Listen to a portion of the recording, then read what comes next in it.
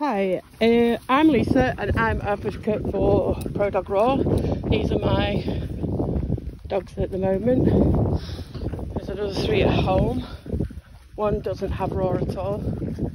Um, but these were all changed onto Raw. My Frenchie, my puppy bull terrier, Jora, my other bull terrier, Kaiser, who is Jora's daddy.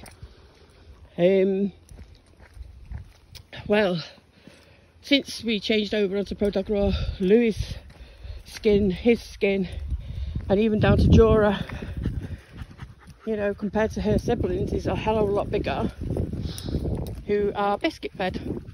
So, or kibble, as if you want to call it. But this is my lot who are onto Pro Raw, and it has absolutely changed my dogs for the better in their skin colour, their skin coat, you know, even down to the skin coat, you know, even down to the activity. A hell of a lot more fitter, healthier since being on it. And I, we would recommend it. We would certainly recommend it. So I wouldn't change it anymore. This is my baby. She's 15 weeks old.